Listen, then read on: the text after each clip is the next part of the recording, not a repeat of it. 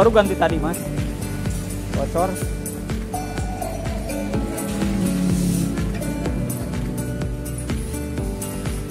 Ganti ban dulu kita.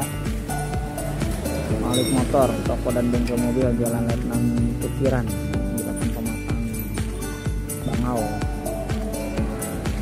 Kabupaten Mana? Provinsi Bengkulu